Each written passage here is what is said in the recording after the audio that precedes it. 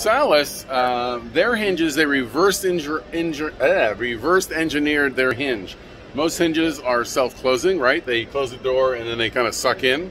They've done the exact opposite. And the reason being is so now you can push it and it pops open. Huh? Ooh, look at that. So I'm really liking that. They've got a little uh, magnet here that uh, releases and catches, but um, different way of doing a hinge. Check Salice out. Okay.